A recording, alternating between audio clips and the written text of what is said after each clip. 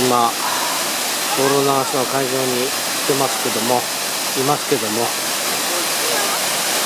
この滝がこんな風な感じで照明が当たった幻想的なのは初めて見ました。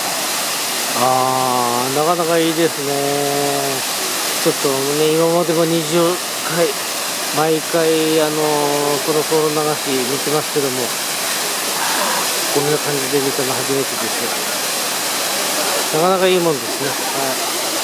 それではじゃあどんな感じだか上原まで上原ま上流しの会場のところというか風景を撮りたいああいいですねいいですね今日はどちらかというとあの南風が吹いてるんでねなかなか流れないですね流しても本当に戻っちゃうって感じがちょっとありますね。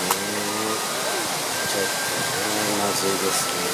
すんなり流れないですねまあ買いたくないよって言ってんかもしれないですねこれね。うんなんとなくわかります。うわー今日はいついなく停滞してますね。うん。でもこれも一つのやっぱりトロ直しの良さかもしれないですね。はい。いやでも神秘的ですね。うん、うん、いいですね。